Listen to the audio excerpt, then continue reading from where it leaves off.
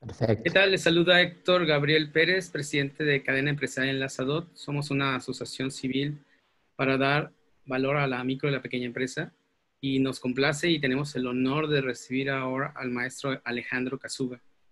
Déjenme platicarle un poco más de Alejandro Casuga.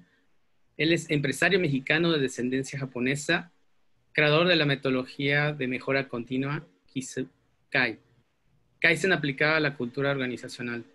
Derivado de su amplia experiencia profesional adquirida en Estados Unidos, México y Japón, y de la mezcla cultural que lo caracteriza, ha logrado sumar el enfoque orientado a resultados de los americanos, la calidez y creatividad de los latinos, con la planeación y el orden de los japoneses, para desarrollar su metodología que ahora es punto de referencia en la implementación de sistemas de mejora continua.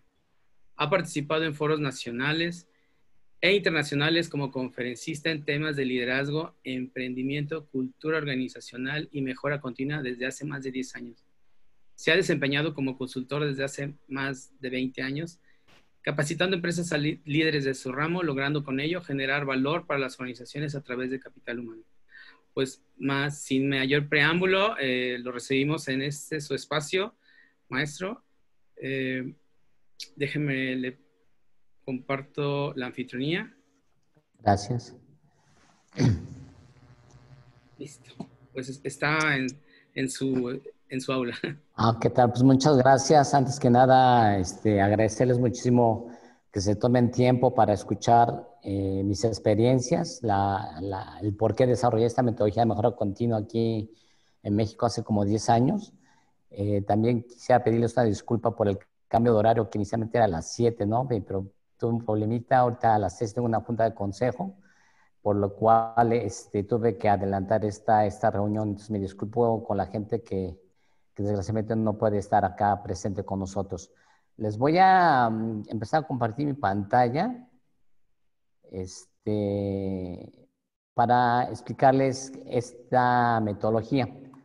Yo actualmente soy director general de Yacul de Puebla eh, y tengo una consultora que se llama Cable de Consulting y aquí pongo el logo de la Fundación Casuga porque tenemos una fundación que se dedica a promover mucho lo que es la interacción entre la cultura mexicana con la japonesa para crear un mundo mejor, ¿no? Y agradecerle infinitamente a Héctor Pérez, a todo el grupo de Enlazador para poderles compartir esta metodología que es muy sencilla, muy práctica. Yo creo que como empresarios sabemos de la importancia que es involucrar a la gente en estos procesos de mejora continua, porque siempre lo he dicho, pero la gente que hace el trabajo es la que realmente puede mejorarlo. Aquí el tema es el cómo, ¿no? Entonces, aquí les voy a explicar una manera muy sencilla, muy práctica, que espero eh, la puedan aplicar eh, dentro de sus empresas. Este, esta metodología eh, inició en esta empresa Yacul de Puebla. somos una empresa mediana, somos 186 empleados, pero pues, nos ha ido súper bien. ¿sí? la primera empresa que me retó a implementarla para ver si funcionaba fue African Safari es una industria totalmente diferente a la de Yakult. Eh, fue el primer zoológico, se certificó en ISO, fue el primer zoológico fuera de Estados Unidos en certificarse bajo la normatividad americana de zoológicos y acuarios. Y eso me dio la seguridad de que esta metodología pudiese aplicar en cualquier parte del mundo, en cualquier parte, en cualquier tipo de industria, más que nada porque pues hablamos de lo mismo, que es la capacidad del ser humano en poder ser creativo, ingenioso para dar ideas de mejora. Eh, como descendientes de japoneses, pues sí, déjenme decirles que me siento muy orgulloso de haber este, colaborado con empresas muy grandes. Por ejemplo, tengo a Hino, que es la marca del grupo Toyota, que tiene el Toyota Production System. Tiene el sistema de producción más eficiente en el mundo. Todo el mundo quiere aprender de Toyota Production System. Pero ¿por qué, no nos, ¿por qué me contrataron? Porque una cosa es el área de producción y otra cosa son las áreas que le dan soporte a producción, ¿no? Ya sea compras, inventarios, mantenimiento, finanzas, recursos humanos y demás, que no se podían realmente crear un entorno de mejora continua en toda la organización. Entonces, con esta metodología que yo les implementé, pues ya finalmente pudieron crear este entorno, ¿no? De mejora continua. Yasaki es la empresa más grande de arnés del mundo. Capacitamos sus 384 gerentes de México y Centroamérica. Hilex es la cuarta empresa más grande de Querétaro, es japonesa, de cable de carros. Harada, la de, de antenas de automóviles más grande del mundo. También hay empresas americanas, canadienses, Federal Mogul, Capsugel, que es una empresa suiza, mexicana MRO, que es la única que sobrevivió a la reestructuración de mexicana, que le da el mantenimiento a los aviones de intereses divolares. ¿no? Eh, Allianz, que es una industria de servicios, de seguros, este, en fin. He dado esta plática en más de, de, seis países. Ahorita, gracias a la tecnología, ya no me tengo que estarme mueve, mueve, mueve, mueve, viajando de un lado para otro, eh, lo que me conviene muchísimo. Eh, desgraciadamente no puedo ver sus caras de todos y ver las reacciones, a ver si mis chistes les llegan o no les, o no, no les sentido mis chistes, pero lo he presentado en tres congresos mundiales de ISO. El director general de ISO, de ese entonces, el doctor Gary Core, decía que ISO eh, se estaba yendo a la baja. ¿Por qué? Porque era todo documental y no involucraba el factor más importante que tiene la organización, que es el factor humano, ¿no? Entonces él veía en mi metodología una manera muy sencilla, muy práctica de volver a involucrar a la gente de abajo en los procesos de mejora, porque me dicen que ahorita los procesos de mejora, proyectos de mejora más bien son nada más los ingenieros, los que están hasta arriba. Este es mi currículum y sí quiero que eh, entiendan por qué surge esta metodología, de dónde surge esta metodología. Yo nací en la Ciudad de México, me eduqué en el extranjero y ya terminando la maestría decidí ir a trabajar a Japón. Mucha gente me dice, oye Alejandro, ¿por qué en vez de quedarte en Estados Unidos a trabajar o regresar aquí a México a trabajar, decidiste emigrar a trabajar a Japón? Y, la respuesta es muy sencilla, pues cuando la gente me conoce por primera vez, pues me ve chaparro, la verdad es que estoy muy chaparro, mido unos 59, ahorita ustedes no me ven, pero sí mido unos 59, no llego al 1,60, claro que mis documentos hago trampa y le pongo unos 60 para que no se vea tan feo, ¿no? Eh, pues que la piel morena, los ojos rasgados, el nombre Alejandro, le pido Kazuha Sakai. Y siempre, siempre me preguntaban, especialmente en Estados Unidos, me decían, what are you, no? O sea, ¿tú, ¿tú qué eres? ¿Eres chino, coreano, vietnamita? Me dicen que si me dejo crecer el bigote y la varita me parezco a Manny Pacquiao, que soy filipino. Este, mucha gente me confunde con Maramando Manzanero, que soy yucateco, en fin, ¿no? Pero cuando les digo que soy mexicano de ascendencia japonesa, como el agua y el aceite. O sea, nosotros los latinos somos totalmente diferentes a los japoneses. Y ya trabajando 10 años en Japón me percaté que esta gran diferencia es, no es tanto eh, el ADN, ¿no? Realmente pues, somos los mismos seres humanos.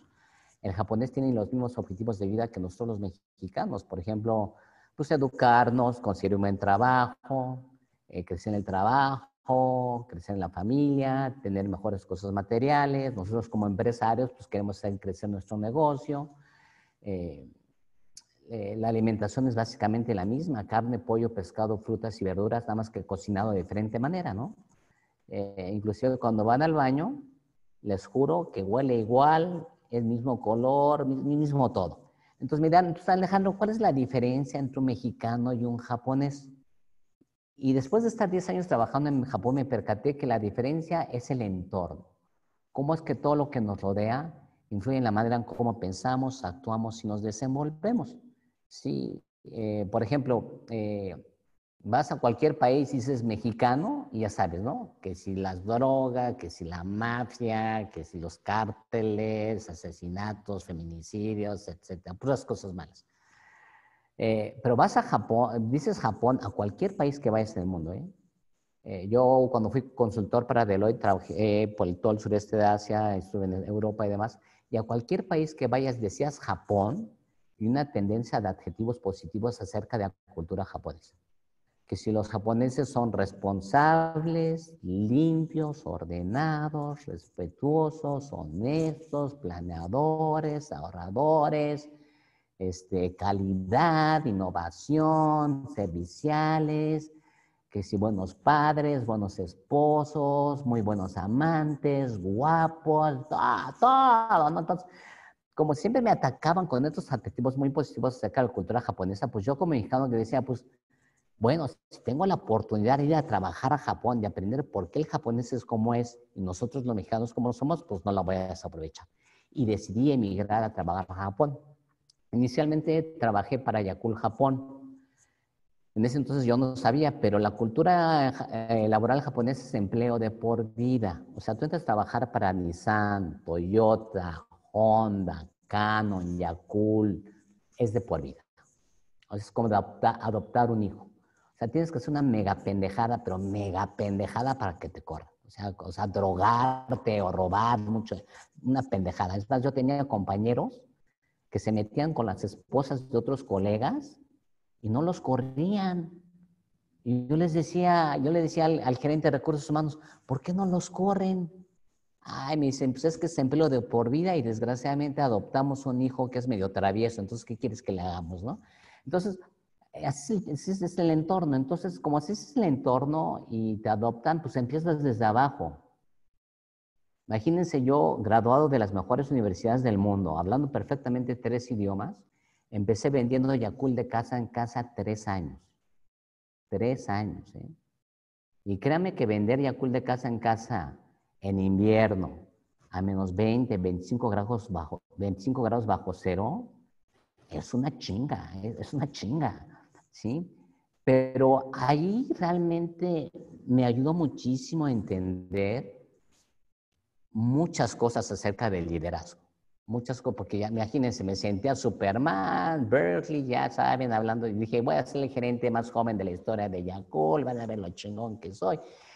Y cuando me pusieron a vender Yakult de casa en casa empezar a interactuar con gente que no ha tenido el background, o sea, el currículum que yo he tenido académico, y ver que ellos sacaban, no tenían mejores ventas que uno, pues sí me dolía en el orgullo, ¿eh? Y ahí me percaté que no es tanto el aspecto económico. Yo por eso como empresario, eh, o sea, sí el título universitario es, es, un boletito de entrada. Yo sé que aquí hay muchos estudiantes, ¿sí? O sea, es un boletito de entrada. Obviamente, entre más nivel tenga este boletito de entrada como Harvard, Stanford, MIT, pues te abre más puertas. Pero una vez entrando en la empresa ya mucho depende de ti, De qué tantas ganas le eches dentro de la empresa. O sea, ya lo del pasado ya está en el pasado. Ya no te puedes estar, seguir creyendo de que fuiste eh, estudiante de Harvard y demás. No, no, no, ya eso quedó en el pasado. ¿sí? Hay que echarle ganas. Y le empecé a echar muchas ganas porque sí mi orgullo me afectó muchísimo, ¿no? Entonces ya al ver que el entorno es, es, es lo que influye muchísimo, eh, siempre que les pregunto a, los, a, a, cualquier persona qué piensan de los japoneses, lo primero que me dicen es esto, ¿no? Que, ay, es que estoy generación X y como que no le... Siempre me dicen que son muy disciplinados y trabajadores. Que los japoneses son muy trabajadores, disciplinados.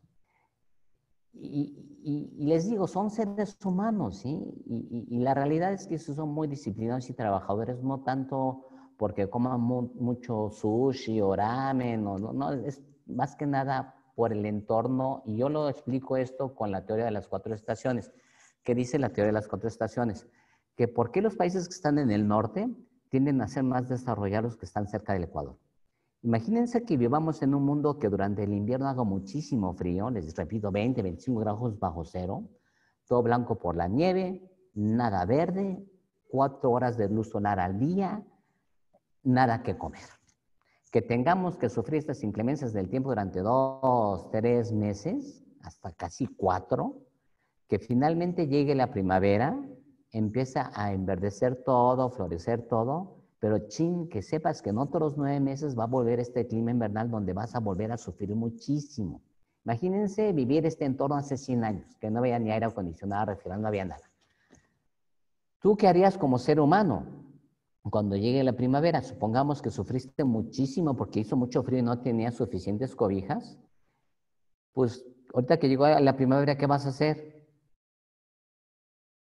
pues ponerte las pilas y a chambear y conseguir más cobijas que el año pasado para no sufrir tanto como el año pasado. Claro que como ustedes son microempresarios, lo que harían es producir más cobijas para venderlas, ¿no? Pues el chiste, si les digo que esto año tras año, generación tras generación, hace que el japonés sea más disciplinado, trabajador, planeador, ahorrador. Cuando siembran las semillas de arroz en abril, por ejemplo, lo hacen de manera muy disciplinada. ¿eh? Miden exactamente la distancia entre cada hoyito donde van a meter exactamente dos, tres semillas, que es lo más eficiente de arroz. Las cuidan día a día, las trabajan día a día, fertilizan día a día, para que cuando sea octubre, sea la época de la cosecha del arroz, tengan mucho arroz que cosechar y tengan cómo subsistir el invierno. Es un tema de subsistencia. No es como aquí en México que aventamos las semillas de arroz y a ver qué chingados pasa, porque si no pasa nada, no, pues no, no pasa nada. Pues no, allá sí se mueren, acá no nos morimos, ¿sí? Entonces, este tema del entorno es algo muy importante. Nosotros como microempresarios tenemos nuestro microentorno, que es nuestra organización, nuestra empresa. Nosotros no podemos hacer nada para cambiar la inseguridad, para cambiar los feminicidios, para cambiar los casos, no, no podemos hacer nada. lo que sí podemos hacer como líderes de nuestras organizaciones es cambiar nuestro microentorno, para que sea un microentorno de proactividad eficiente. Entonces, para que entiendan esto, les voy a poner la teoría de la rana, para que se les tatúe en la cabeza la importancia del entorno. Se agarra una rana y la ponen un sartén con agua fría, ¿qué creen que va a hacer la rana? Bien puede saltar y escaparse y no lo va a hacer y se va a quedar nadando a gusto en el sartén con agua fría. ¿Por qué? Porque es su entorno. Ahora, supongamos que somos medio gandallas, llegamos al sartén y le ponemos una estufa y le encendemos la estufa, ¿qué creen que vaya a hacer la rana? Pues bien puede saltar y escaparse, ¿eh? Y no lo hace y muere hervida. ¿Qué nos enseña la teoría de la rana? Que nosotros los seres humanos, al igual que la rana, tenemos el mismo comportamiento. El entorno está cambiando de manera muy, muy dinámica. ¿sí? Llegamos a nuestra zona de confort y ahí nos quedamos como las ranas. Y para que entiendan cómo es que ha cambiado este mundo, porque me dijeron que iba a haber muchos estudiantes también escuchando esta plática, muchos millennials, quiero que entiendan cómo es que ha cambiado este México. Les voy a poner un chiste. Es Juan y Arturo. Juan le dice a Arturo, oye compa, ¿qué es la globalización y el Internet? Y Arturo le dice, pues no seas tonto, pues la muerte de la princesa Diana. Y Juan le dice, ¿por qué, compa? Arturo dice, mira, era una princesa inglesa con uno egipcio que tuvo un accidente en Francia manejando un carro alemán con motor holandés, seguidos por paparazzi italianos que iban a subirse en motocicletas japonesas y que después del accidente fueron atendidos por médicos americanos usando medicinas hechas en Brasil. Y este chiste me lo mandó un amigo filipino de su computadora fabricada en China usando tecnología que seguramente fue robada a Bill Gates, que a su vez se la robó a los japoneses con chips hechos en Taiwán y motores coreanos ensamblados en Singapur por trabajadores tailandeses y que se expuesta vía online desde su oficina en Puebla por un mexicano con cara japonés casado con una peruana. Antes de la apertura económica de México con el NAFTA, en los 80s, 90s, ustedes iban a tiendas como Liverpool, y todo estaba hecho en México. ¿eh? Los zapatos, relojes, electrodomésticos, eh, joyería, todo estaba hecho en México. Ahora vamos a estas tiendas y cuál es el entorno comercial. Pues todo está hecho en China. Me imagino que se acuerdan que cuando empezaron a llegar los productos chinos, leíamos la etiqueta y, y si decía Made in China, ¿qué hacíamos? No los comprábamos. Y ahorita les aseguro que ni nos fijamos dónde están hechos los productos porque ya nos acostumbramos a que todos los productos se, estén manufacturando en el extranjero, especialmente en China. O sea, ya estamos como las ranas acostumbrados a vivir un entorno de puros productos chinos. Entonces, ¿qué es lo que tenemos que, hacer en esta, en, esta, en esta situación? ¿sí? Cómo crear empresas resilientes en esta, época de crisis. Nos tenemos que ir transformando de ser unos dinosaurios, quizás unas empresas sólidas, grandes, muchos empleados, muchos activos, pero nos tenemos que ir transformando a ser unos camaleones. Y esa es la importancia del microempresario, de que podemos ser unos camaleones de un día para otro, ver cómo cambia el entorno y cambiar nuestro modelo de negocio lo más rápido posible para poder subsistir. Es un tema de subsistencia. Les voy a poner ejemplos de dinosaurios. Kodak, por ejemplo. Kodak era el amo y señor de la fotografía en el mundo. Todo era Kodak. 2012 se declaró en quiebra. BlackBerry, por ejemplo. ¿Quién de aquí llegó a utilizar BlackBerry? Me imagino que la gran mayoría, ¿sí? La gran mayoría. El iPhone salió en el 2007, 2008, 2009 aquí en México. Antes de que salga el BlackBerry aquí en México, eh, BlackBerry tenía casi el 70% del mercado. ¿Por qué tenía tanto porcentaje de mercado? Para los millennials que no sepan, que no saben de esto, anteriormente no existía WhatsApp. No había WhatsApp en este mundo de millennials, no había WhatsApp. Entonces, este, cada vez que enviabas y recibías un texto, Telcel nos cobraba un pesito. Qué cabrones, ¿no? Nos cobraba un pesito, ¿se acuerdan? Entonces, este, BlackBerry creó BBM, BlackBerry Messenger. Si te en el famoso PIN, ¿no? Entonces creó BBM, BlackBerry Messenger y podías enviar y recibir textos de manera gratuita, el, WhatsApp de ahorita. Y es por eso que casi el 70% de los mexicanos utilizamos BlackBerry.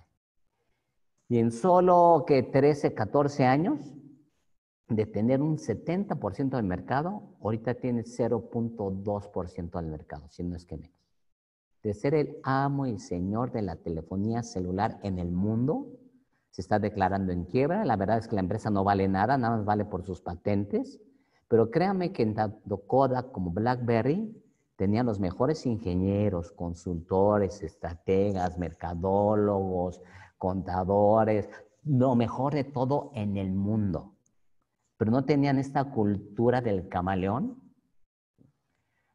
Se volvieron muy lentos, no vieron que el entorno está cambiando demasiado rápido y dejaron de existir. Eh, me gusta un ejemplo que es Fujifilm, que fue la competencia directa de Kodak. Fujifilm, al igual que Kodak, eh, vio que ya no le iba a hacer en el mundo digital. Entonces, él analizó sus procesos y se transformó en un camaleón. Ahorita Fujifilm eh, detectó que tenía una tecnología de entintado para revelar las fotos que se podía aplicar a los cosméticos y creó una división que se llama Aftalif. Esta división llegó a tener casi el 70% de los ingresos de Fujifilm. Puros cosméticos, o sea, de vender, de hacer productos de fotografía a cosméticos.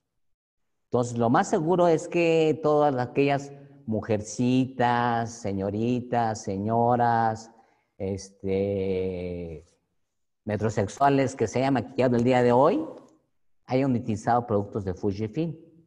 Increíble, ¿no? Ha crecido tanto la empresa que ahorita ya tiene este, la división de, de medicina, eh, tiene la división de imprenta que compró Fuji Xerox, en fin, ha crecido demasiado. A mí, un caso que me gusta muchísimo es el caso de Nintendo.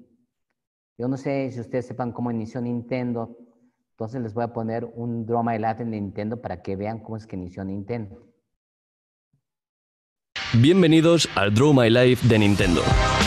Los orígenes de Nintendo como empresa se remontan a finales del siglo XIX y a primera mitad del siglo XX. Usahiro Yamauchi, padre de la compañía, comenzó a fabricar barajas de naipes y también de Hanafuda, cartas artesanales típicas de Japón. Sin embargo, su bisnieto Hiroshi Yamauchi, quien, tras tomar el relevo en la presidencia de la compañía, comenzó a diversificar. Durante los años 60, Nintendo comercializó arroz y fideos, después de una cadena de hoteles íntimos para parejas. Luego pasaron a los taxis, llegando a contar con una flota de más de 40 vehículos. También intentaron con los juegos de mesa, otro fracaso.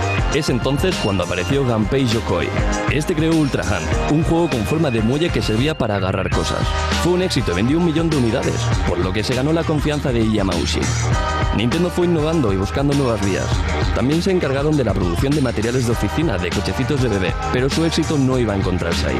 1973 sería un año histórico para la compañía. El sistema de disparos láser que habían desarrollado sustituyó a los bolos como principal entretenimiento en Japón. En 1977 lanzarían junto a Mitsubishi Electric las primeras consolas domésticas, la TV Game 6, que ofrecería 6 juegos, y la TV Game 15, que tendría 15. La empresa seguía creciendo y por eso decidieron abrir una sede en la Gran Manzana. Idearon un juego para el recuerdo, Donkey Kong, que se convertiría en un éxito rotundo. Eran principios de los 80 y la marca Nintendo conseguía dar un nuevo salto de calidad. Aunque si un éxito destaca por encima de otros, es Mario Bros., las aventuras de un carpintero bigotudo, que después sería fontanero y buscaría a su novia Pauline, que en este caso sería la primera princesa antes de Peach, con la compañía de su hermano Luigi. Después, a la mitad de los 80, Nintendo aterriza en Europa lanzando su revolucionaria NES y algunos juegos como Super Mario Bros. y The Legend of Zelda. Y en 1989 aparece la Game Boy, la primera consola portátil con cartuchos intercambiables. Se estrenaba con un juego, el Tetris, que marcó una época en la historia de los videojuegos. En 1992 nace la Super Nintendo, de la que llegan a vender más de 46 millones de consolas en todo el mundo.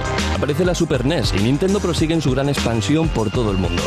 A mediados de los 90 alcanzan un nuevo hito al vender el cartucho número 1000 millones. Además lanzan la Nintendo 64 y los siguientes años también la Game Boy Pocket, la Game Boy Color y por último la Game Boy Advance, que es mejorada por la Game Boy Advance SP. Y después la Nintendo DS y la exitosa 3DS. Además cerraría la década con dos éxitos sin precedentes. El lanzamiento de un nuevo Zelda para Nintendo 64 y el desembarco de Pokémon en toda Europa, un juego que triunfaría gracias a la distribución de Nintendo. Todos estos éxitos suponen que la Game Boy Advance se convierta en la consola más vendida de todos los tiempos al superar 100 millones de ventas. 2006 supuso otro punto álgido con el lanzamiento de Wii, una revolucionaria consola que permite al jugador sentirse parte del juego gracias a los mandos con sensores de movimiento. Después llegaría Wii U, aunque no tendría el mismo éxito que su antecesora. Y en 2016, después de algunos años de dudas, Nintendo volvía a lo más alto gracias a una colaboración con Niantic. Pokémon Go. La gente se echó a las calles para cazar Pokémon con este innovador juego y las acciones de Nintendo subieron como la espuma. Y ya lo veis, Nintendo está más viva que nunca, de eso no cabe duda. Una gran muestra de trabajo, talento y evolución. Este, me gusta mucho Nintendo porque, imagínense, eh, fabricaban naipes de un juego tradicional japonés que se conoce como Hanafuda, y este juego nada más se juega en Año Nuevo. imagínense la cantidad de ventas que tenía Nintendo a lo que es el día de hoy. Y también me gusta mucho el caso de Nintendo para hacerles esta pregunta. ¿Quién de aquí jugó Pokémon Go? Yo lo jugué. Les digo esto ¿por qué? porque quiero que entiendan la importancia, como microempresarios que somos, de la tecnología, del uso de la tecnología. Y para que lo entiendan, les voy a dar la analogía de la bicicleta. Este, si quieres avanzar en la bicicleta, pues la tienes que levantar, montarte, empezar a pedalear. Entre más pedalees, más avanzas. Si dejas de pedalear, pues poco a poco vas a reducir tu velocidad y te vas a caer. La tecnología ahorita se llama bicicleta, ya estamos montados en la bicicleta que se llama tecnología. Si no interactamos con toda la tecnología que está saliendo el día de hoy, nos vamos a quedar como los dinosaurios, aunque seamos microempresarios, ¿sí? Como los dinosaurios. Y les digo esto ¿por qué? Porque tengo un compañero de la maestría que trabaja para Nintendo y me dice, la gente no ha entendido el impacto que vamos a tener en el comercio con Pokémon Go. Y le digo, ah, chinga, ¿por qué?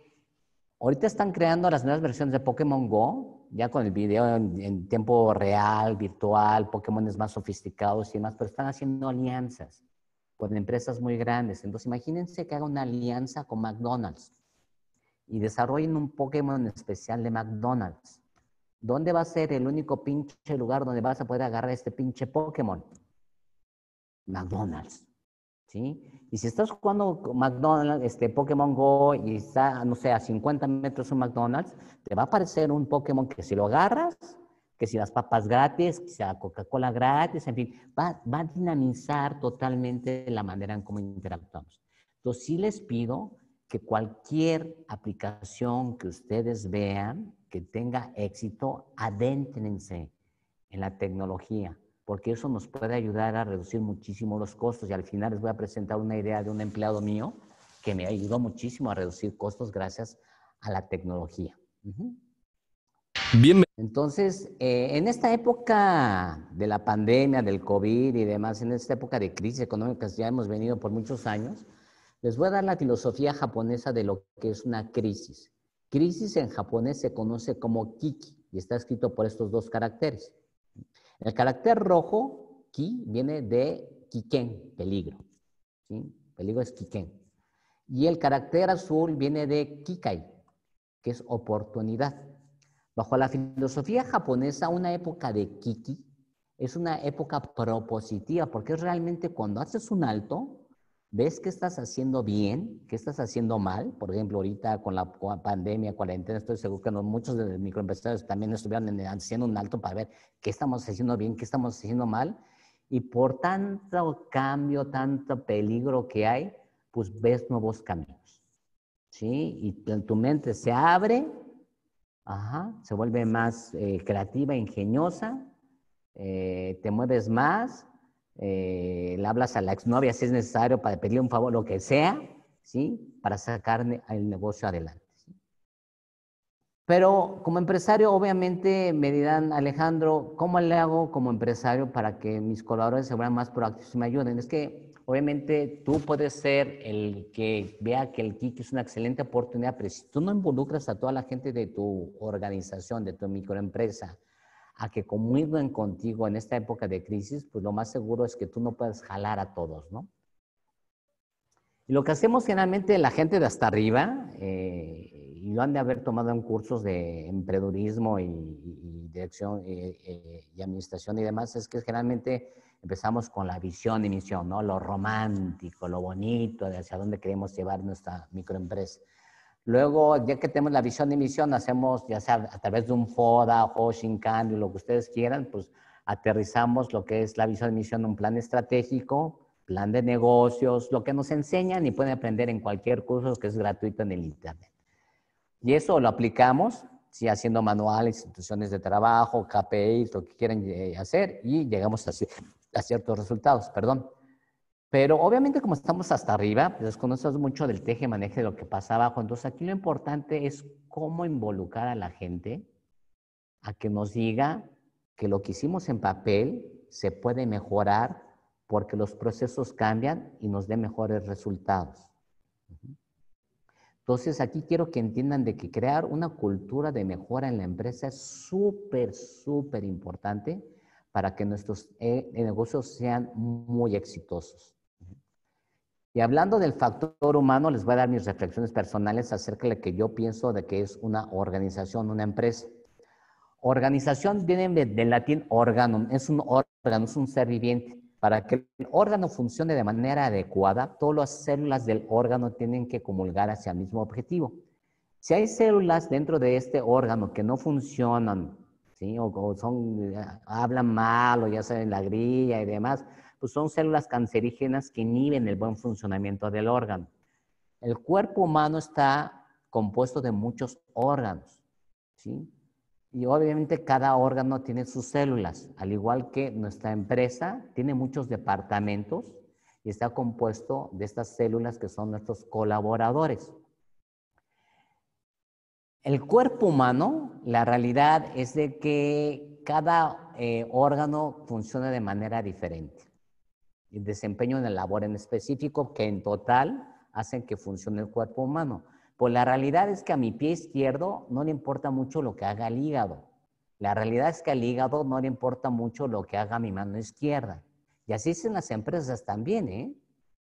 A muchas, eh, al departamento de ventas no le importa mucho si contrataron o no contrataron, ¿sí? A la, gente de recursos humanos no le importa si llegó tarde o no llegó tarde un paquete. Y eso se los digo ¿por qué? porque yo llegando aquí a Yacul de Puebla cambié la visión y misión de la empresa que me, ya llevaba como 20 años, me tardé dos meses, tiempo completo, para crear la visión y misión perfecta, ¿no? Hice que todo el mundo se la memorizara al derecho y al revés. Es más, hacía eh, exámenes sorpresa, agarraba a la gente y dime la visión y misión de la empresa, ¿no? Entonces todo el mundo se la aprendió al derecho y al revés. Al día de hoy le preguntas a la recepcionista la, la visión y misión y sí te la a decir, pero pues, le vale madre. Como al de ventas le vale madre, ¿sí? Al de logística le vale madre la visión y misión. ¿Por qué? Porque la visión y misión es la misma en todas las empresas. Le cambias una palabrita y es lo mismo.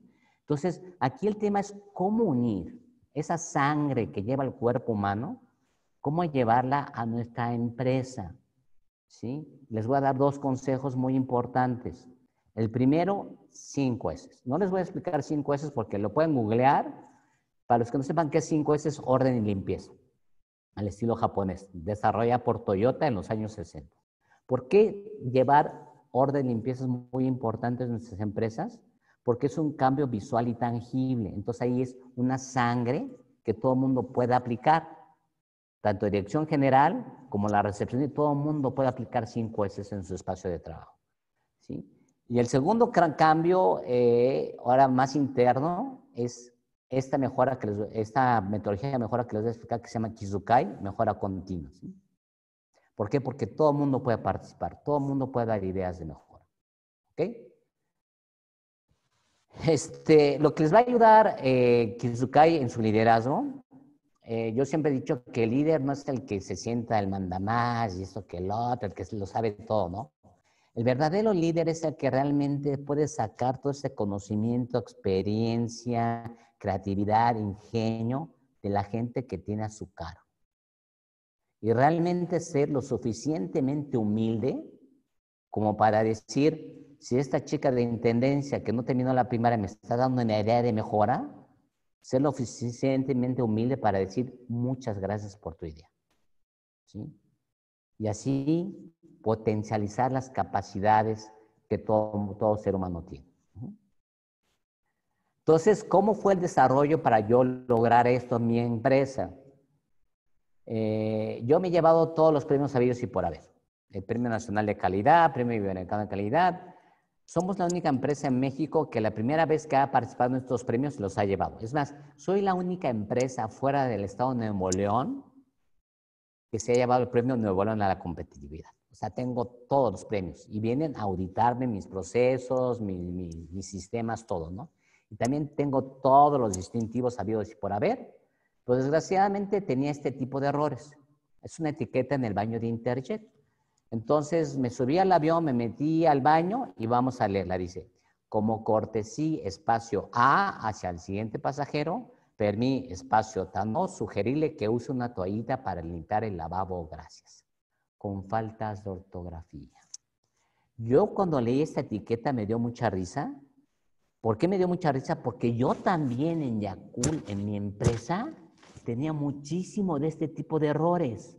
A pesar de los premios que les digo, distintivos que les digo, yo tenía muchísimo de este tipo de errores. ¿Qué pasaría si mando llamar a Juanito, que fue quien pegó esta etiqueta para regañarlo? ¿Qué me diría Juanito? Así me la dieron, patrón. A mí no me regaña, así me la dieron. A mí me pidieron que la pegara, patrón. Y es más, ahorita que la veo, me tiene que felicitar patrón y pedirme una disculpa. Y le dice, ah, chinga, ¿por qué? Fíjese en el espejo. Yo la pegué derechito. Está bien chingona, ¿no? Yo la pegué derechito, ¿no? Y así somos, ¿no? Pero así somos también y, todos somos así como estudiantes, y seamos honestos. Si el profesor nos decía, a ver, antes de pasar al ejemplo del, estudiante, déjenme decirle, ¿cuánta gente estuvo involucrada en hacer y pegar este etiqueta que reconoció este error? El que se le ocurrió hacer esta idea, que es una muy buena idea, llevamos uno. El que la redactó en español, dos. El que la tradujo en inglés, tres. El que la aprobó, cuatro. El que la llevó en el impresor, cinco. El que la imprimió, seis. El que la recogió, siete. El de mantenimiento del baño, ocho. De limpieza del baño, nueve. Copilotos, pilotos, aeromosas, 12 personas, 12 procesos, 12 niveles en el organigrama que vieron este error y les valió mal. Esa es la cultura laboral que tenemos. Y es la misma cultura que tenemos no solamente como empleados, sino también como estudiantes. Si el profesor nos decía, a ver, examen del capítulo 4 al 6 de este libro, ¿quién estudió el 7? Nadie, nadie, a pesar de tener el tiempo de estudiar el 7, nadie estudiaba el 7. Y si llegamos al examen y venía una pregunta al capítulo 2 que vimos en el examen pasado, ¿qué le decíamos al profesor? No se vale, profesor. Usted dijo del 4 al 6. No sea tramposo. No se hubiese dicho que venían preguntas del examen pasado. ¿Qué tramposo es usted? La, la, hacemos bullying, ¿no? Entonces, esa misma experiencia que tuvimos como, como estudiantes, estoy seguro que es la misma experiencia que tenemos acá todos los que somos microempresarios. Entonces yo decía, ¿de qué chingados me sirvió todo lo que hice si no he logrado crear una cultura de mejora, un entorno en el cual todos los colaboradores sean proactivos? Que si la señora de intendencia está lavando el baño y ve que está goteando el agua, digo, que levante la mano y diga, hey, aquí hay una deficiencia, mi idea de mejora es que le dé mantenimiento a la tubería del baño porque está desperdiciando agua. Pero esto en toda la organización. Entonces, ¿qué es lo que decidí hacer? Fui a ver muchas empresas, fui a España, Japón, obviamente trabajé en Japón, fui a ver muchas empresas que se han llevado los premios de calidad y demás y no encontré nada.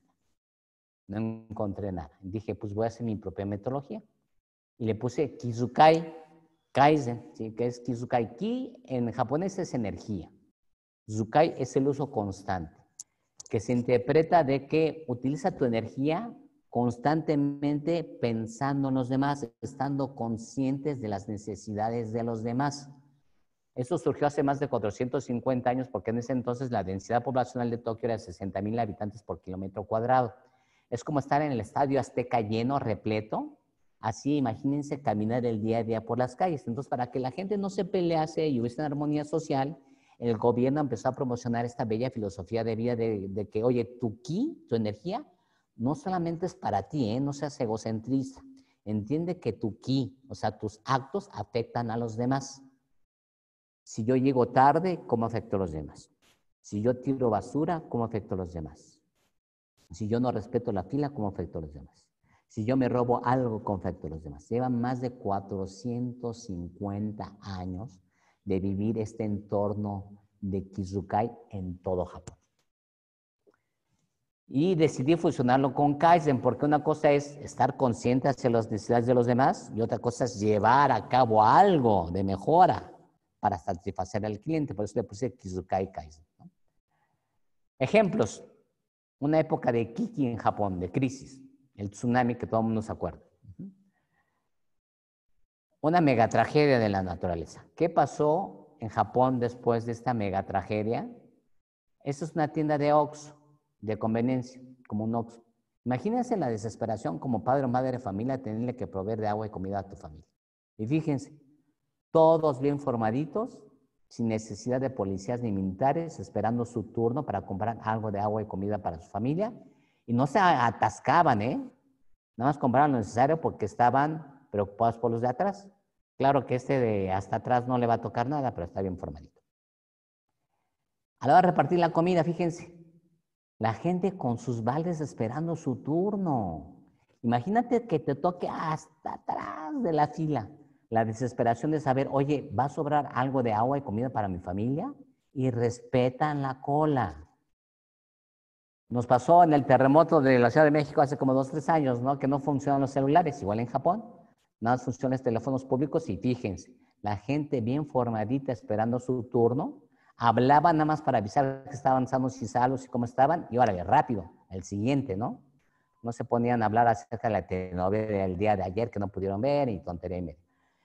Se preocupan tanto por los demás, tanto, tan conscientes de los demás que hasta regresaban las cajas fuertes a la estación de la policía, ¿sí? Preocupados por la gente que lo había perdido todo. ¿Qué, ¿Qué pasó en México en el terremoto anterior? Don desmadre. En el Mundial de Brasil, que, de Rusia, perdón, Japón perdía los partidos y los espectadores japoneses recogían la basura del estadio. Estando conscientes de que hay que dejar el lugar limpio como lo encontraron, a pesar de haber perdido el partido. ¿Qué hubiesen hecho los japoneses si hubiesen ganado el partido? Imagínense qué hubiesen hecho los japoneses si perdiendo recogían la basura pues yo creo que hubieran cortado el césped, pulido los asientos, pintado el estadio, quién sabe qué hubieran hecho, ¿no? Pero cuando fueron descalificados por Bélgica en los octavos de final, perdieron 1 a 0, gol de último minuto. Y fíjense cómo dejaron el vestuario. Ahí sí pulieron todo, limpiaron todo como nuevo, como nuevo. Imagínense el coraje de haber perdido 1-0 en gol de último minuto y aún así dejar un letrero que sea muchas gracias, Japón, ¿no? ¿Qué hubiese hecho la selección mexicana? ya me imagino, ¿no? Sí, meados, grafiteados, ya me imagino el chicharito grafiteando. Imaginémonos cosas chingonas, chicharito, ¿no? Ajá. Entonces, esa es la, diferencia del Kizukai. ¿Y cómo se ve reflejado esto en el día a día? Esto es un baño público en una estación de, camiones, así como si fuésemos a la, tapo, ahí, así estaría el baño público. Los que tenemos bebés, estoy seguro que les ha pasado que cuando tu bebé está en tus brazos y quieres ir al baño público y no viene tu pareja al lado, dices, chinga, ¿con quién dejo el chamaco para hacerle el baño? Y fíjense, aquí hay un asiento para bebé, aquí hay un perchero, esta mesita de metal es para que dejes tus compras, tus abrigos, este tubo es para las personas de tercera edad. Y ahora fíjense en el excusado, es un excusado electrónico. Baño público, estación de camiones, ¿eh? En Japón hace mucho frío. Te bajas todo lo que tengas que bajarte, te sientas y ¿qué crees? Tiene calefacción. No es como la Ciudad de México que cuando hace frío te sientas y como que brincas del frío. No, ahí, nice. Cómodo, ¿sí? Y aquí hay un brazo electrónico del lado derecho, no sé si lo vean, pero tiene varios botones. Tú aprietas un botón y sale un chorrito de agua y la tina para limpiarte le aprietas otro botón, sale aire y te seca. Le aprietas este botón más grande que está acá y sale una mano por abajo y te limpia y te da masaje. Ah, no es cierto. La, de la mano no es cierto, ¿eh? La de la mano no es cierto. ¿Sí? Pero todos los demás son verdaderos. Es más, lo pueden buscar en internet. Lo que me gusta de este ejemplo es que estas ideas, estando conscientes de las necesidades, el Kizukai, hacia el, hacia hacia el cliente no vienen del jefe, vienen de la gente que hace la limpieza y mantenimiento del baño. ¿Por qué? Porque ellos son los que están conscientes y saben de las necesidades reales del cliente, no es el jefe. ¿sí? Ese es el esquema de Kizukai, darle la oportunidad al empleado que realmente conoce el trabajo, que nos dé ideas de mejora. Les voy a poner un video que me encanta para que vean la belleza de un entorno de Kizukai, de un servicio tan sencillo como es una gasolinera. Un, un proceso muy sencillo de despachar gasolina. Y sí pongo acá, enfatizar que en Japón no se da propina. Si tú das propina, se enoja el mesero o la persona que le das propina. Es una ofensa porque ellos hacen su trabajo con orgullo. Pues llega este extranjero a la gasolinera al igual que en México ya lo están esperando. Bien formaditos, dicen dónde tiene que ir. Llega el gerente, le dice qué tipo de gasolina, cuántos litros, igual que en México. Y al, preguntarle detecta que le echan, bueno, le despachan la gasolina y al abrir este, la ventana detecta que el, carro huele feo, ¿no? Y, y, al igual que en México, pues le empiezan a limpiar el vidrio. Pasa el gerente, ah, ¿te limpio el cenicero? Entonces le, limpia el cenicero. No solamente vacía y limpia el cenicero, sino además le agrega aromatizante al cenicero. Para que no huela feo. Le limpian todos los vidrios, todos los espejos, los faros tres personas porque no hay muchos clientes, nada más hay un cliente. Entonces, todo el mundo hace equipo para darle el mejor servicio al cliente. Le regresa el cambio, le dice, oye, ¿de qué lado vas a salir? ¿Del lado izquierdo? ¿Del lado derecho? Ah, Izquierdo.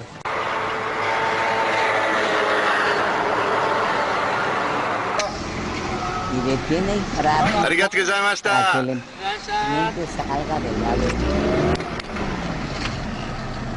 Qué belleza de servicio, ¿no? Qué belleza de servicio. Pero eh, todas estas ideas nacen de la gente que hace el trabajo diario y estando súper conscientes de las necesidades del cliente. Verán, Alejandro, ¿cómo chingados le hago para que la gente, mi gente que trabaja para mí, esté consciente de las necesidades? Que es el tema, ¿no? Entonces, esta es la metodología Kizukai muy fácil de entender, muy fácil de aplicar, ¿sí? Este, damos cursos en línea para que realmente lo, apliquen bien y puedan tener esta cultura como la gasolinera. Está dividido en cuatro Ks, K0, K1, K2, K3. Voy a enfocar en el primero en K0, K1, ¿no? K1 es funciones básicas. ¿Qué son funciones básicas? Es para qué te pago, qué es lo que tienes que hacer, qué dice tu manual, tu instrucción de trabajo, qué es lo mínimo con lo que tienes que cumplir, eso es cada Desgraciadamente, muchos de nuestros empleados no pueden cumplir ni con lo que se les pide y eso es casero. Pero nosotros los jefes a veces nos desesperamos y les decimos, qué pendejo que eres, ya sabes, mal hablados y todo eso, pero nunca nos preocupamos del por qué no, un colaborador no puede cumplir bien con su K1. Nos tenemos que preguntar por qué no pueden cumplir con su K1, pero con la ayuda del empleado. ¿Por qué? Porque están las cinco meses de calidad. Igual el empleado no puede cumplir bien. ¿Por qué? Porque compras cambió de proveedor y el proveedor nuevo meter la materia prima defectuosa o a destiempo. Sí, y yo no sé, yo no sabía. Entonces, darle la oportunidad al empleado de que levante la mano y digan, hey, campearon de proveedor, ¿sí? Y este proveedor no entrega las cosas como deben de ser. Algo muy sencillo. La maquinaria, la maquinaria puede ser obsoleta, que se descomponga cada rato y demás. Entonces hay que darle la oportunidad al empleado que nos diga, ¿sí? Si tiene la maquinaria correcta.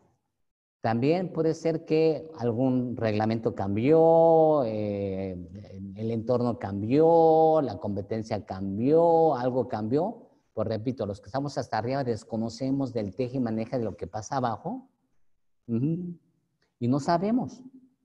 Entonces hay que darle la oportunidad nuevamente al empleado que por favor nos diga qué es que ha cambiado y su idea de mejora.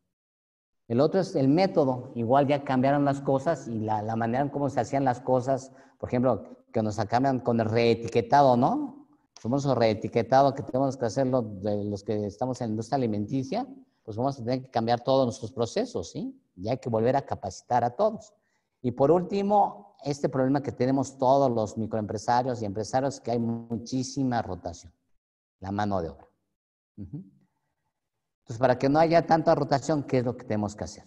¿Sí? Estas son las cinco M's de calidad que hay que preguntarle al empleado, primero, ¿por qué no puede cumplir bien con su K1?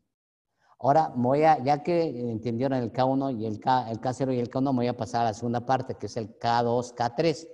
Me voy a saltar el K2, voy a ir al K3.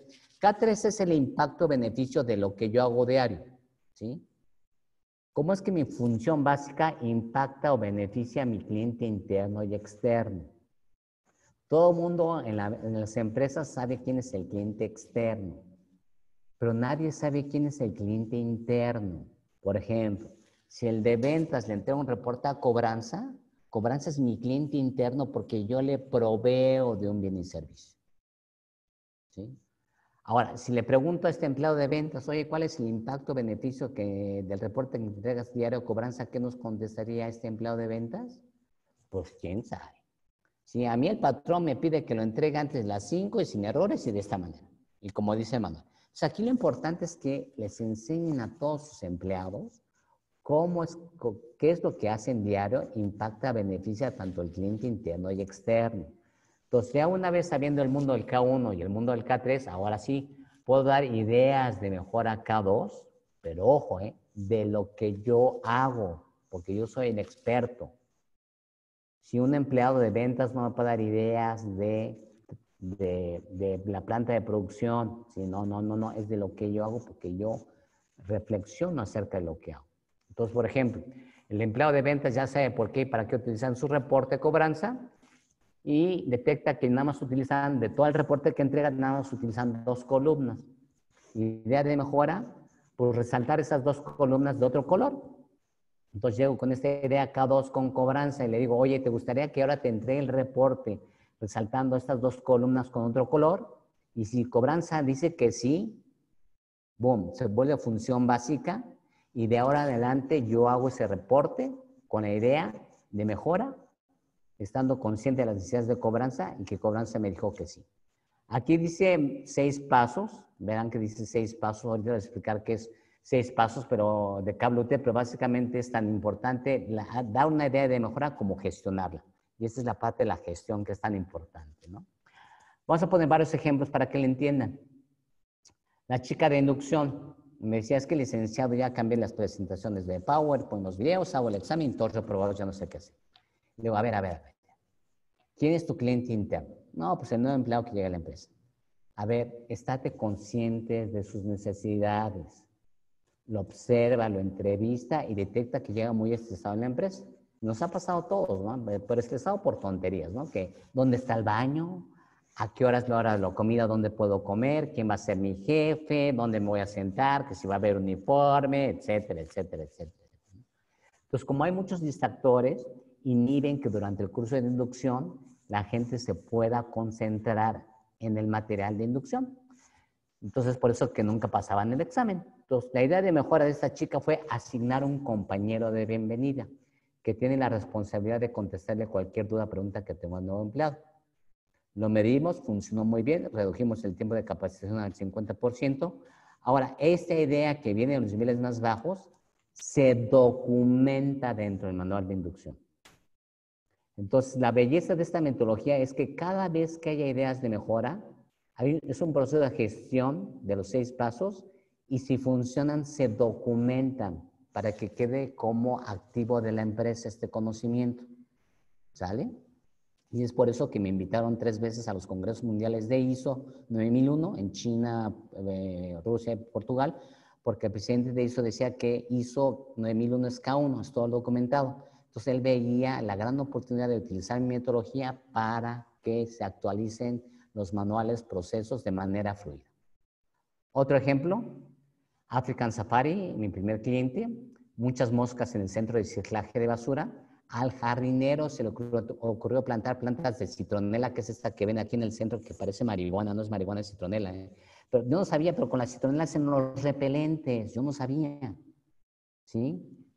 Y lo que decidieron hacer es plantar todo alrededor, plantas de citronela, y así eh, evitar grandemente la reducción de moscas y mosquitos. Ahora imagínense si African hubiera contratado una empresa de ingenieros para resolver esta problemática, le hubiera comprado un, le un chorro.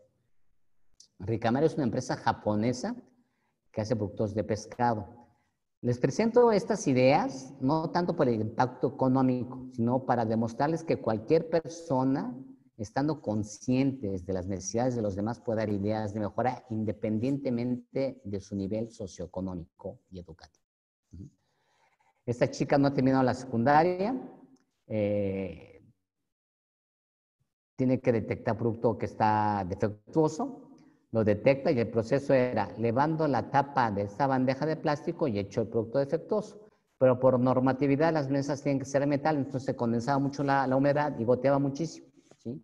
Entonces, eh, cada vez que levantaba la tapa, se mojaban sus guantes y todo, y eh, el producto efectuoso y se echaba a perder y ya no se podía volver a utilizar. ¿Cómo resolvió esta idea de mejora? Pues haciendo un hoyito, ¿sí? Para que sea más fácil meter el producto defectuoso y ya no se mojara, ¿sí? El producto defectuoso. Muy sencillo. Hail es la empresa de cableo de carros más grande del mundo japonesa. Tienen tres turnos, llega el nuevo turno, agarra la batería, la embotaban en el patín y el patín se queda parado porque la batería no estaba totalmente cargada. Idea de mejora, pues que le pongan un letrerito a la batería para saber cuál está cargada y cuál no está cargada. Sencillísimo. Este, esta es, este es de Gino. Sí, me gusta ponerla porque Gino, como ustedes saben, pues es la creadora de Toyota Production System, y este es de, un, de la asistente de contabilidad, que me decía, es que me envían todos los viáticos de los vendedores y gerentes a mi correo personal de la empresa, y este, al final de mes, pues tengo que revisar uno por uno para detectar cuál sí es de viático cuál, es, cuál no es de viático si me tardo como hora y media. Entonces, mi idea de mejora es que me hagan un correo que diga viáticos arroba Hino Motors Mexico Motors Manufacturing, hmmm.com.mx y ahí me llegan todos los este, viáticos. ¿no? Sencillo. De estudiantes, ¿sí? este de Mónica Ramírez de la UPT, ella es, una empresa que comercia granos, entonces llegaba el, camión, echaba los granos en el piso y eh, empleados con palas rellenaban los sacos.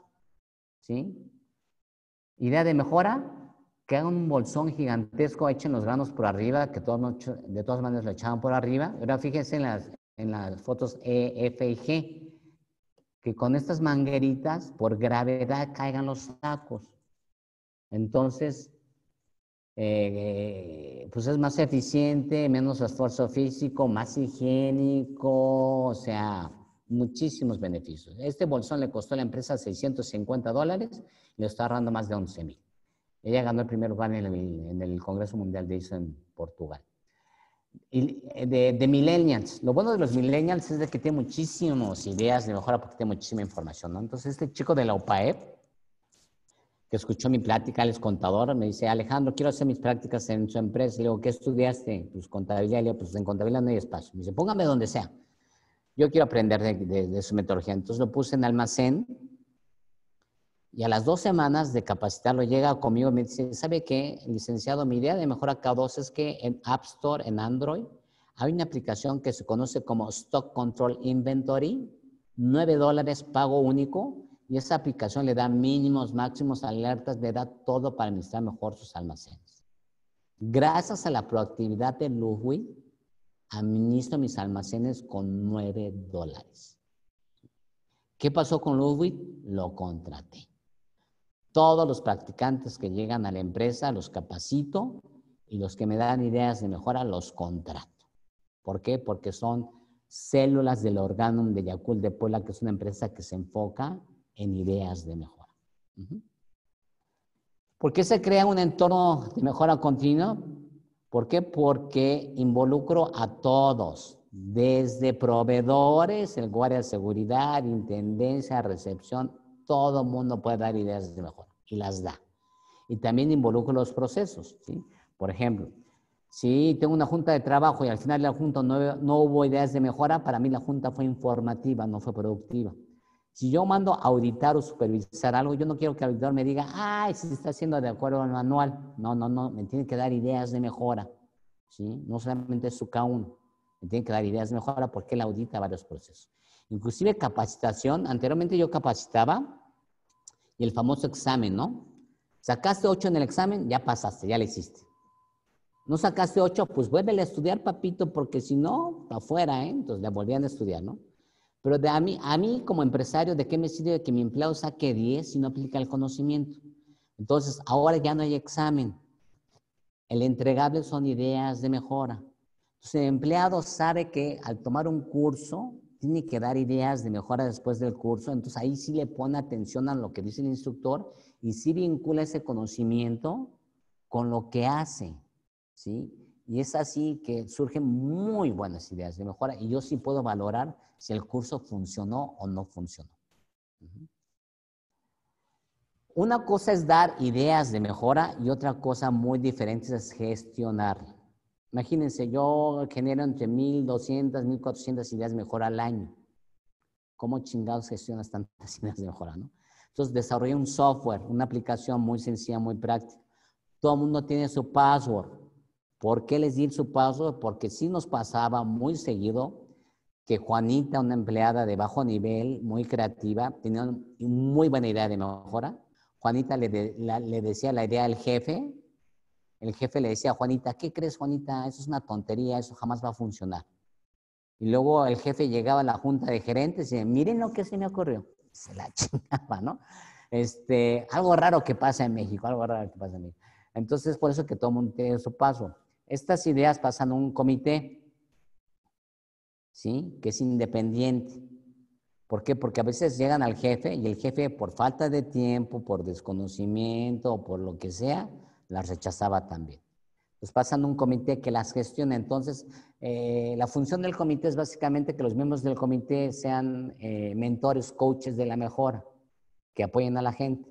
Por ejemplo, mucha gente a veces tiene buenas ideas de mejora y no las quiere dar porque tiene, no sabe escribir, por ejemplo, ¿no? Entonces llegaría esta persona y le decía, a ver, tú describe la idea de mejora y yo la pongo en el software, ¿no?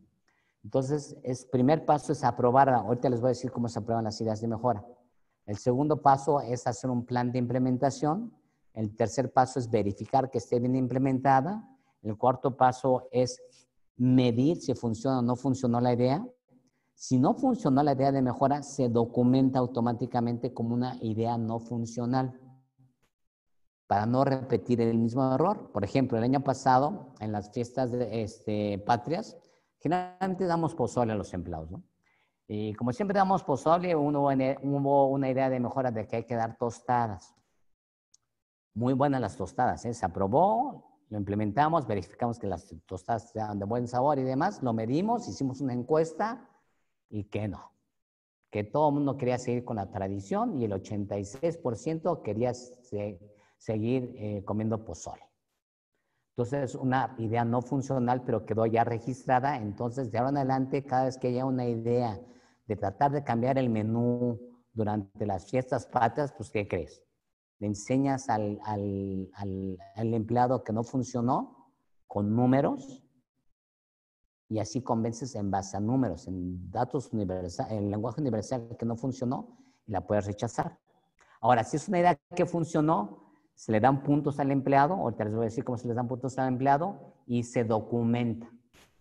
Hay que documentar las cosas, señores. ¿sí? Es un activo muy importante.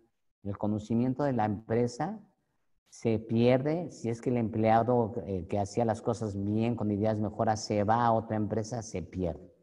Es más, cuando vienen empresas de la competencia, trabajadores que trabajan en la competencia, yo lo primero que digo, que les pido son ideas de mejora que no hayan visto aquí en Yacul de Puebla.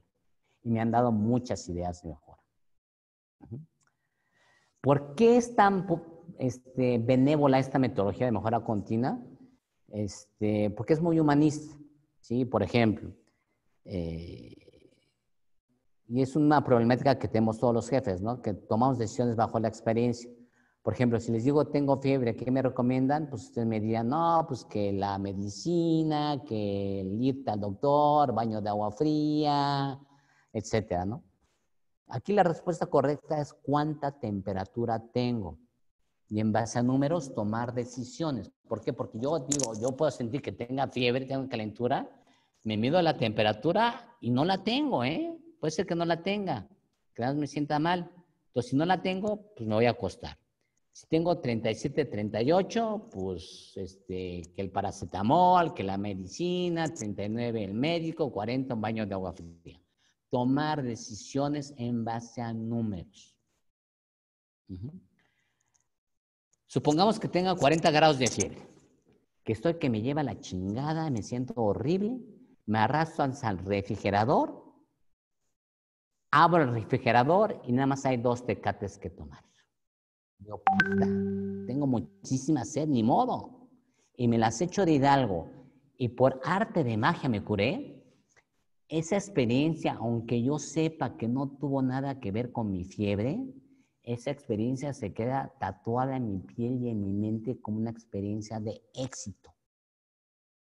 Y si, por ejemplo, llega la siguiente semana, aquí estoy viendo a Janet Sánchez, y me pregunta Janet, oye Alejandro, tengo fiebre, ¿qué me recomiendas? ¿Qué le diría a Janet? Dos tecates, Janet, dos, no vayas al médico, hazme caso a mí, te juro que tenía 40 grados de fiebre, que con dos tecates, eso sí bien frías, ¿eh? te las echas de algo y te curan. ¿sí? Y esa es la problemática que tenemos las empresas. La problemática que tenemos, especialmente los microempresarios que iniciamos con el negocio, es que tenemos una vasta experiencia.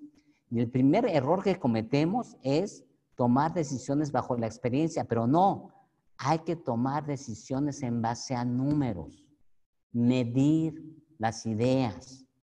No decir luego, lo, eso, eso lo hice hace tres años y no, no funcionó. No, no, no, no. Es medir las ideas. Porque igual y no sabemos si lo implementamos bien o lo implementamos mal y ya estamos tomando decisiones que bien pudiesen ayudar mucho a la empresa. Otro tema muy importante de la naturaleza humana que ayuda a esta, esta metodología es que nosotros los seres humanos tomamos eh, decisiones, este, este, resolvemos la problemática y nos olvidamos. ¿sí? Y pongo esta manzana como ejemplo. ¿Qué pasa con la etiqueta cuando lavas estas manzanas? Se queda pegada, ¿no? Le tienes que rascar con la uña la cáscara para quitar la etiqueta de podértela comer. Es una deficiencia de, de proceso. Y hace unos meses fui a Superama y ahora venden estas manzanas con esta etiqueta, pero ahorita tiene un cintillo. ¿Para qué? Para que le jales la y te la puedas comer fácilmente. Yo cuando vi esta idea de mejora me dio muchísimo coraje porque a mí se me pudo haber ocurrido esta idea de mejora muy sencilla, la hubiera patentado y les juro que por Dios que no estaría el día de hoy aquí con ustedes, ¿eh? estaría en mi yate, en la cuarentena, disfrutando de la vida. a todo mundo se nos fue. Me quedé como la rana. La verdad es que me quedé como, como la rana. Entonces, la belleza de esta metodología es que tú como empleado que diario experimentas una problemática, tú como el experto des una idea de mejora. Ahora, ¿cómo es que puedo aprobar o no aprobar una idea de mejora? Y vamos a hacer una encuesta. Yo sé que no se puede hacer en la encuesta porque no estamos en vivo, pero si yo les digo poner un florero en el escritorio es una mejora, unos me dirán que sí, otros me dirán que no, los que me digan que sí me dicen sí porque se ve mejor la oficina, huele bonito, cambia el ambiente, los que digan que no me dicen es un gasto innecesario que no aporta para nada, en fin. Lo primero que tenemos que hacer es determinar hacia dónde queremos canalizar esta proactividad, esta, esta ingenio, creatividad que tenemos los empleados, haciendo una tabla de, de objetivos y directrices. ¿Sí? Algo como esto. Este es un ejemplo, ¿eh? Si tiene muchos accidentes, por ejemplo, yo, no tengo accidentes porque soy comercializadora, pero si tuviese muchos accidentes, reducción de accidentes estuviese hasta arriba en vez de incremento a las ventas. Y ustedes pueden amoldar de acuerdo a la problemática que tengan esta, esta directriz.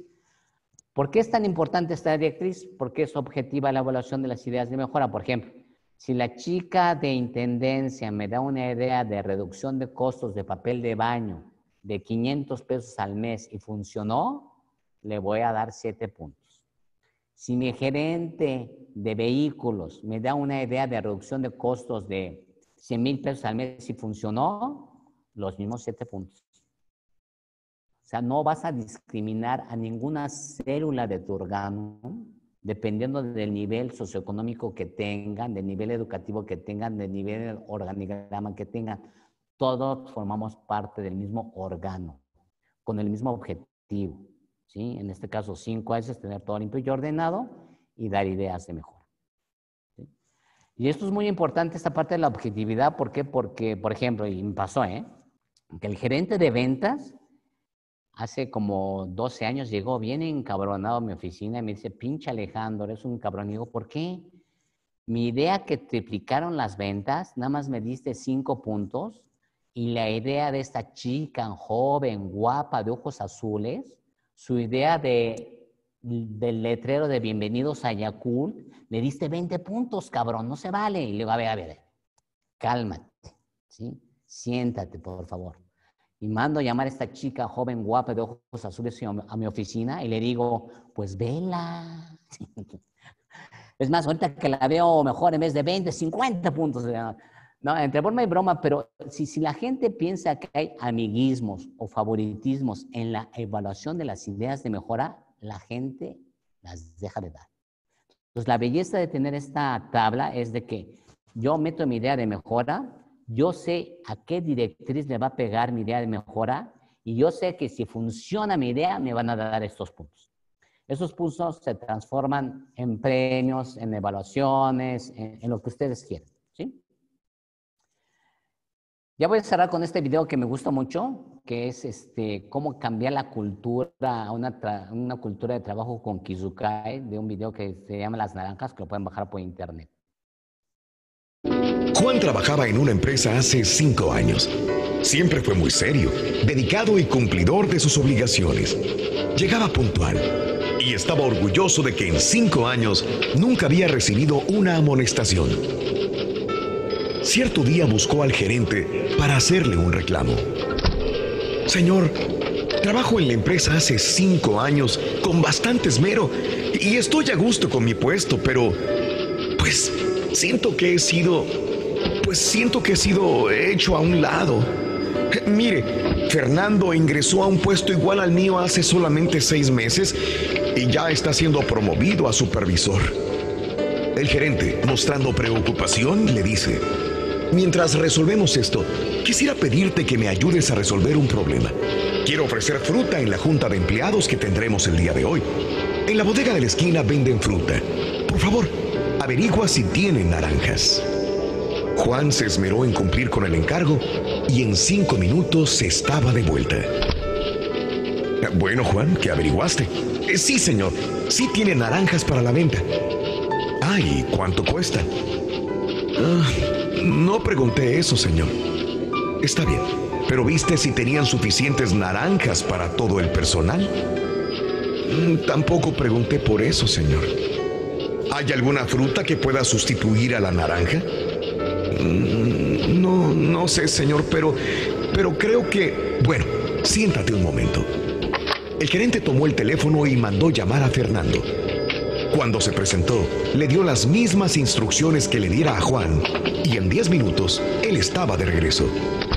Bien, Fernando, ¿qué noticias me tienes?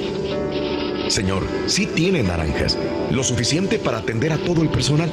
Y si prefiere, también tienen plátano, papaya, melón y mango. Las naranjas están a 5 por un dólar, el plátano a 49 centavos la libra, el mango a 2 por un dólar, la papaya y el melón a 99 centavos la libra. Me comentaron que si la compra es por cantidad, nos darán un descuento del 8%. He dejado separadas las naranjas en la cantidad correcta para todo el personal, pero si usted escoge otra fruta, entonces debo regresar para confirmar el pedido. Muchas gracias, Fernando. Pero espera un momento. El gerente se dirigió a Juan, que aún seguía esperando sorprendido, y le dijo, Juan, ahora sí, ¿qué me querías decir? No, no nada, señor. Eso es todo. Con su permiso. Eh, impactante el video, ¿no? Y me gusta mucho este video por dos temas. Primero, el tema de liderazgo, que hemos quedado que liderazgo es poder sacar toda la capacidad de experiencia, conocimiento de la gente, ¿no? Ya sea la, eh, una mejor persona para contribuir a la empresa. Eh, obviamente aquí el gerente le evidenció lo que le faltaba a Juan para volverse un Fernando, pero nunca le enseñó el cómo. Ahora, Juan, en el caso de Juan, ¿es Juan un mal empleado? No, no, lleva cinco años trabajando para la empresa, cumple con lo que se le dice, ninguna amonestación, o sea, cumple cabalmente con su count. Pero ¿qué pasaría si todos los empleados de nuestra empresa fuesen como Juanes? ¿Qué pasaría con nuestra empresa?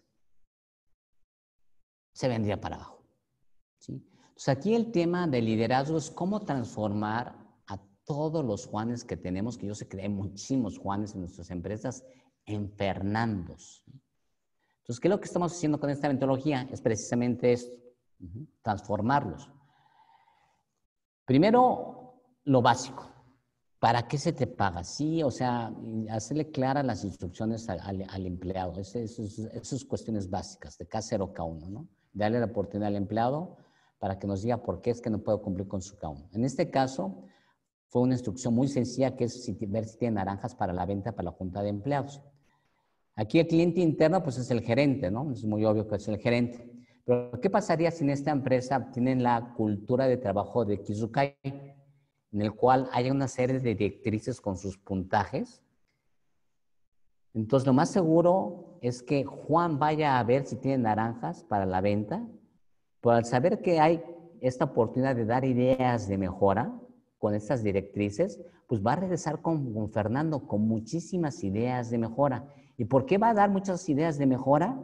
Porque él sabe que si esas ideas funcionan, les van a dar puntos, ¿sí? Y va a ser mejor evaluado.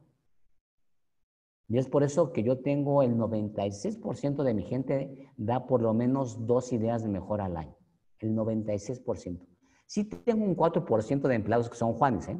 No le decir que, soy, que es una involucración perfecta. Si tengo un 4%, que por más les digas, dame ideas de mejora, pero cumplen bien cabalmente con su count. ¿sí? ¿Sí? Cumplen cabalmente con su count. Entonces, por eso que hemos crecido exponencialmente hablando. O sea, en todas las áreas, ya no es el mismo, lo mismo que llegue el empleado y diga, licenciado, ¿qué hacemos con esto? Y ellos saben qué hacer, ¿eh? Nada más te están delegando la responsabilidad. Y si tú tomas la decisión y sale mal, usted dijo. Usted dijo. Es su culpa, usted dijo, ¿no? Pero no, aquí es al revés. Mire, señor, aquí pasa algo malo y esto, yo como experto, esta es mi idea de mejora. Que pasa al comité y el comité la va a gestionar. ¿Y por qué va a dar ideas de mejora? Porque él sabe que si no funcionó, de todo no es bueno porque se documenta y ya sabemos que es una idea no funcional y no repetimos el mismo error una y otra vez. Y si funciona, él sabe que se van a llevar puntos y va a quedar documentado en nuestros manuales, en nuestros procesos, como, y va a quedar como knowledge management, ¿no? Administración del conocimiento. Entonces, este tema de mejora continua sobre un tema administrativo. ¿Por qué? Porque es un tema de administrar a perfiles de puestos, procesos, manuales, se vuelve un tema de misión y misión, hacia dónde quiero que mis empleados enfoquen su energía, se vuelve un tema de evaluación de los empleados, se vuelve un tema de administración del conocimiento, o sea, ayuda en muchísimos, muchísimas cosas para administrar mejor nuestro negocio.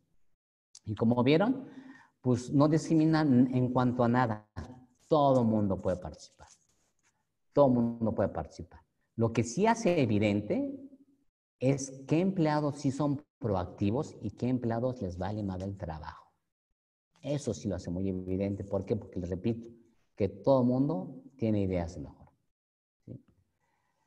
Y ya para cerrar, le digo, pues, ¿y ahora qué sigue? No? ¿Cómo es que yo realmente lo puedo aplicar para mi empresa? Entonces tenemos dos, dos métodos. ¿sí? El primero es, este, me gusta esta foto porque es un tren bala en el cual este, es transformar las locomotoras que tenemos en la cual eh, el, la locomotora principal que somos nosotros los jefes jalamos la organización y ahorita el tren va arriba de 200 kilómetros por hora porque cada vagoncito tiene su motor lo hacemos de esta manera. Tenemos un curso en línea, ¿sí? Este, vía Zoom. Yo participo en la última sesión para eh, dar cualquier duda o pregunta que tengan acerca de la metodología, en la cual eh, pues pueden participar es de 6 a 8, son dos horas, son cuatro días y son seis horas de tareas y demás. No, este, no sé si puedan ver el contacto, pero el contacto es silvia.santis.consulting.net ¿sí? El registro es en esta página. Y la inversión, generalmente el curso sí lo vendemos muy caro, pero ahorita si ven el logo de la Fundación Kazuga, ahorita con esto de la pandemia y todo esto queremos aportar y, estamos reduciendo bastante el precio para que sea 1.500 pesos por persona. Eso sí les digo, ¿eh? Que el retorno de inversión, al menos que sean medio sonsos, este, no lo van a recuperar. Pero lo más seguro es que lo recuperen y por mucho, por mucho, ¿sí? Y la belleza de este curso es que el mismo consultor les va a dar seguimiento, ¿no? Que le pueden hablar y decir, oye, no entendía esto, esto, porque yo, mi, mi, intención es eso, de que recuperen su inversión mediante ideas de mejora. Entonces iniciamos el 17 de agosto. Esa es una manera en la que estamos colaborando. Y la otra manera en la que estamos colaborando es si son empresas ya más grandes, más establecidas, es implementamos esta metodología en línea en sus empresas, ¿sí? Vía remota. El software, en el curso no les damos el software, les, enseñamos los métodos de seis pasos. Entonces, este, lo pueden manejar en Excel y demás, pero si son más empleados, sí necesitan el software. Entonces, les damos el software, ¿sí? Que es muy barato, muy, muy barato y les damos la consultoría, ¿sí? O el curso de cómo utilizar el software y cómo formar su comité para que vayan detonando esto, ¿sí? Entonces, cualquier persona que tenga una empresa más o menos grande y quiera decir, oye, pues a mí me interesa irme directamente a desde cómo formar el comité, quiero tu plataforma. la plataforma estamos cobrando 1.500 pesos mensuales por el número de empleados que tengas. ¿sí? Entonces, si tienes 15 empleados, pues serán 10 pesos mensuales por empleado, ¿no? Entonces, si tienes 1.500 empleados, ya sería de a peso por empleado, ¿no? Pero es, es, muy accesible, ¿sí? Y se le da seguimiento eh, durante eh, pues todo el proceso de los seis pasos y seguro, seguro recuperan la inversión. Son como 12, 13 sesiones para formar el comité. Son pagos mensuales. Y si los que quieran implementar esto, pues aquí les dejo el contacto, es, de, es Eric Cruz, eric.cruz, arroba net y aquí está su teléfono. Sí les recomendaría esto porque van a notar una gran diferencia rapidísimo, rapidísimo, en, en, en, esta época en la cual necesitamos reducir costos este, de manera muy rápida, ¿no? Entonces, este, pues esto es todo por mi parte. Aquí les dejo este, ejemplos del software. Si les dice quiénes participaron, cuántos participaron, cuántos han ahorrado por departamento, las directrices, quién sí, quién no. Así pueden evaluar a sus gerentes, este, el impacto de acuerdo a lo que se quiera medir, ya sea tiempo, dinero, todo, todo, todo, ¿no? Todo está, está muy bien hecho. Este, el software le hacen, por ejemplo, una idea, le hacen el detalle y sale todos los seis pasos, ¿no? ¿Qué empleado la metió, cuándo lo metió, qué quiso mejorar? Puede juntar fotos, archivos, todo. Todo, todo, todo. Y también eso es parte de la evaluación, que también pueden evaluar todo, ¿no? Entonces, y este es ya como, ya como se documentan las ideas. Pues aquí este, les dejo mis contactos. Eh, por alguna duda, alguna pregunta que tengan, estoy a su disposición para contestarles cualquier cosa. Eh, ahorita nada más tengo 10 minutos, porque tengo junta de consejo, para ver si alguien tiene alguna duda, alguna pregunta que me quiera hacer. Muchas gracias por su tiempo. Espero les haya gustado la plática. Deja de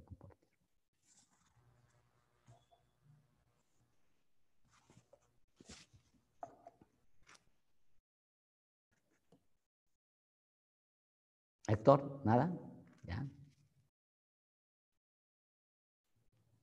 Es que no se te oye.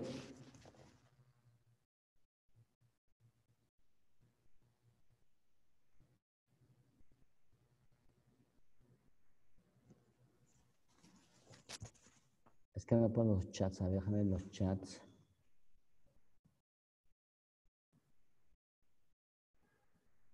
A mí dice, ¿qué pasa con los empleados que dan una idea no funcional? No hay ningún puntaje negativo. No, no, no. Digo, una idea no funcional que ya se implementó y se verificó que no funcionó, también es positivo porque no cometes el mismo error una y otra vez.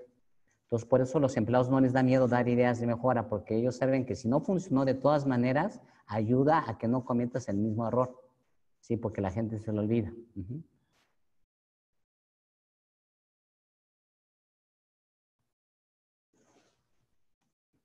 Híjole, es que muchos comentarios.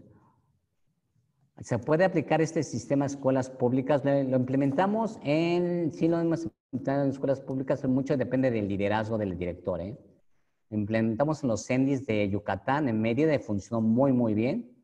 Eh, y le enseñamos esta, este, estas palabras de Kizukai y Kyotsukao a los niños. Entonces los niños empezaron a, a, a preocuparse por los demás.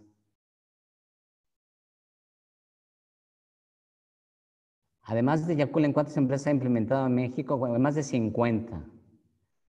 ¿Es aplicada y en el sector público? Miren, depende mucho del liderazgo. Es que sí quiero que entiendan de que cualquier metodología, ¿eh? no solamente la mía, cualquier metodología depende mucho del involucramiento del líder. Si el líder no se involucra, sea la mejor metodología del mundo, nunca va a funcionar. Nunca va a funcionar. Entonces, ustedes son líderes que no les gusta que la gente les dé ideas de mejora, esta metodología no es para ustedes. Esta es una metodología para, la, para los directores que tienen esta apertura.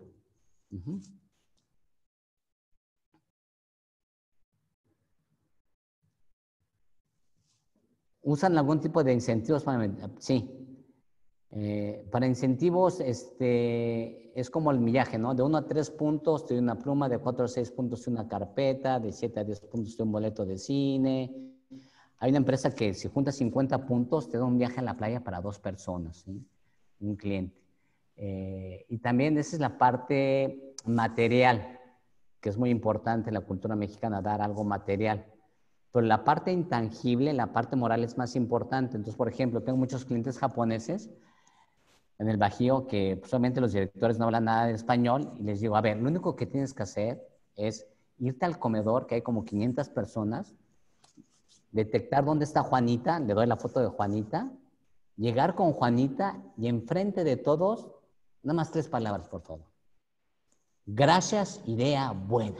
Ya con eso, ya, mira. Entonces va, va al comedor y dice, ah, Juanita, Juanita, gracias, idea buena, gracias, idea buena.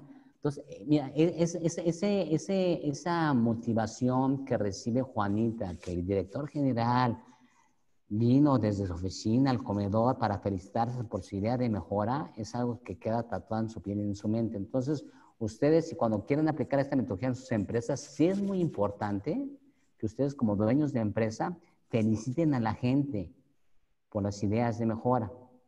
Aunque sean ideas de que digas, puta madre, apenas me estás avisando que se está desperdiciando el agua hace seis meses, aunque sea de ese tipo de ideas de que, que hierve a la sangre, muchas gracias, Carlos. Gracias por decirme que se está desperdiciando el agua desde hace seis meses. Muchas gracias, ¿sí? Y de manera, todo de manera propositiva, ¿sí? Para no cerrar el vínculo de el, el, el, embudo de la generación de las ideas de mejor. Eh, maestro, ya, eh, ya. recuperé la, el audio. Ah, ok, ok. Eh, bueno, mencionarles a todas las personas que pasaremos todos los registros a, a, su personal, a Michelle, y agradecer a Marcela, a Michelle y a Marcela la labor que hicieron para que se desarrolle esta conferencia. Y también le pasaré el chat. Este chat se graba, también se lo pasaré a su equipo. Ah, sí, por favor, por favor. para porque veo que hay gente que quiere ser este, consultor. Sí, dependiendo del perfil, sí necesitamos consultores, porque tenemos muchos. Sí. Eh, pues yo creo que va a ser muy importante eh, que, pasarle la, lista de los asistentes y el chat para que ustedes puedan darle continuidad a las preguntas. Sabemos que ahorita en un rato tiene que meter a, a, su junta de consejo. Agradecerle el honor y el espacio que nos ha dedicado. También comentarle a las personas que esta plática va a estar en, en nuestras redes sociales en Facebook en Lazadot y en YouTube en Lazadot para cualquier persona que la, quiera consultar. Y el, valor de, las capacitaciones que nos acaba de dejar, pues vale muchísimo la pena. La realidad es que también si nos comparte eh, por mail eh, esta, esta oferta, también nosotros hacerla llegar a, nuestra red de cadena empresarial en Lazadot. Ok. Y la realidad es que tuvimos un gran auditorio. También están por aquí las mujeres de Puerto Vallarta que quieren, eh, quieren este, tener acceso con usted. Claro, claro, claro. Sí, es... Esto del Zoom ayuda mucho. Entonces, si juntan su grupo, eh, se, pongan en contacto conmigo y claro que, que hacemos un espacio, ¿sí? Sí, son, son muy interesantes las, las preguntas. Al certificarnos con usted, podemos implementar a nuestros clientes, ¿cómo opera? No sé si quiera comentar esa pregunta. Sí, es que tenemos dos modalidades, ¿no? Uno que es el, instructor certificado para el uso del software, y ya que eh, después de cierto tiempo haya evidenciado de que haya formado a estos clientes del uso del software, ya siguen varios cursos de como consultor presencial.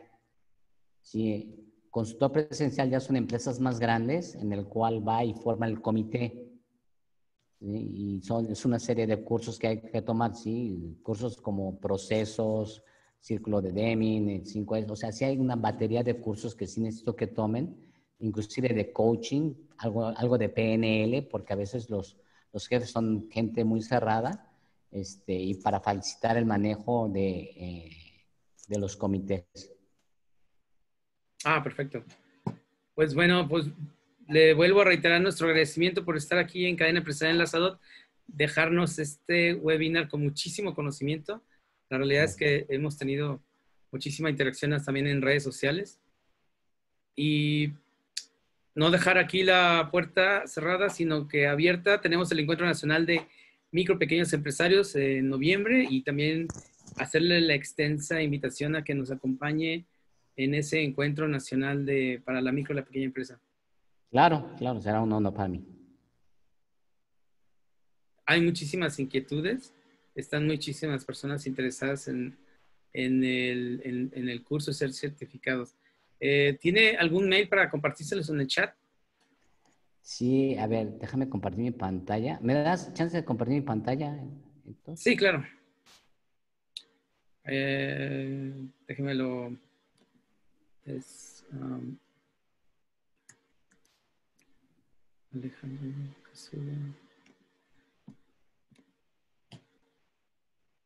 Listo.